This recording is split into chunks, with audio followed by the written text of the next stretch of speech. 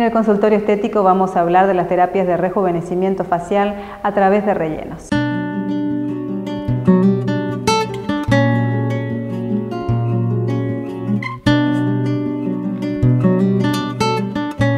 Un rostro joven, eh, lo primero que uno mira en el rostro son las arrugas, o, por ahí es uno de los signos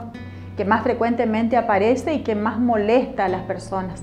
Este, y las arrugas, eh, nosotros las tenemos que diferenciar, hay dos tipos de arrugas, están las dinámicas y las estáticas. Las dinámicas son las que aparecen cuando nosotros gesticulamos, son las llamadas arrugas de expresión y son las que generalmente se tratan con toxina botulínica, con Botox o con Dysport.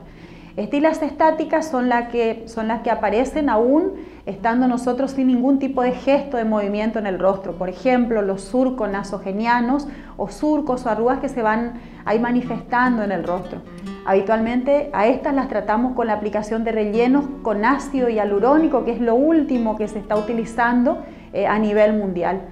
Eh, la verdad que logramos hoy unos efectos de lifting eh, ambulatorio, no quirúrgico, con mucha naturalidad se tratan de relajar las arrugas de, expresión, de rellenar este, estas arrugas o estos surcos que van apareciendo. Este, y hoy también disponemos de distintas concentraciones de ácido hialurónico que van a reconstituir la piel por dentro, la van a hidratar por dentro. Entonces no solo sacamos la, arruga, sino la apariencia de la piel mejora eh, muchísimo con la aplicación de, este producto que es muy noble, eh, que viene eh, en aplicación, la, la aplicación se hace a través de inyecciones.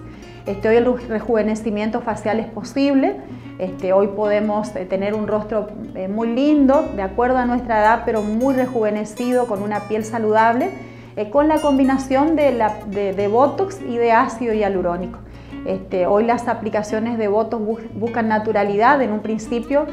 se veían mucha rigidez, el aspecto de, de rostro frisado, de inexpresión. Hoy se busca la naturalidad, hoy tratamos de imitar lo natural, hoy tratamos de que una persona pueda eh, verse en una foto de hace 10 años, 15 eh, años y se note exactamente igual, sin esas arrugas y sin esas marcas que se fueron dando por el mismo proceso de envejecimiento y por el paso del tiempo. La verdad que es una excelente alternativa que ha hecho que se posponga muchísimos años el lifting quirúrgico, que hay que tener en cuenta que no podemos realizarnos muchos lifting quirúrgicos en nuestra vida,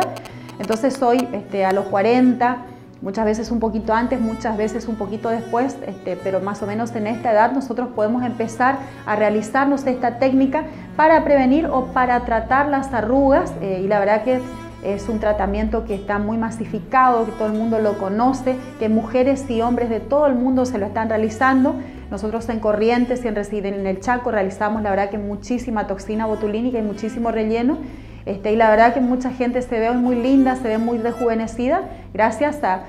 que tiene a disponibilidad o que lo utiliza estos tratamientos. En el caso del Botox, este, una sola aplicación es suficiente. Eh, generalmente el, efecto del Botox no se nota inmediatamente, el paciente se va a la casa,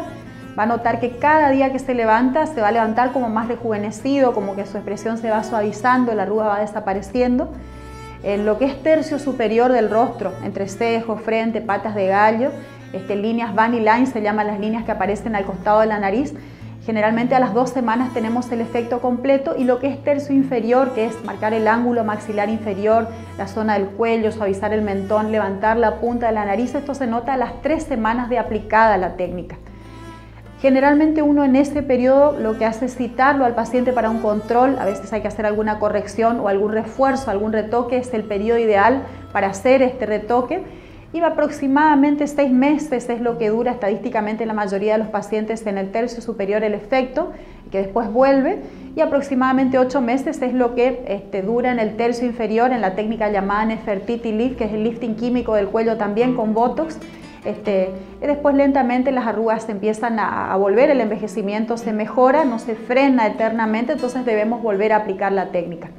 Y con respecto al ácido hialurónico, generalmente una sola aplicación es suficiente. Este, yo por ahí soy partidaria de hacerlo en dos tiempos o en dos veces, aplicamos una vez, cuando el tejido desinflamó, se acomodó, esto es 15 días, 20 días, volvemos a aplicar este, un poquito más si es necesario, porque la idea siempre es buscar la naturalidad, que el paciente no cambie este, su, su identidad, sobre todo que el paciente siga siendo el mismo, nada más que más rejuvenecido.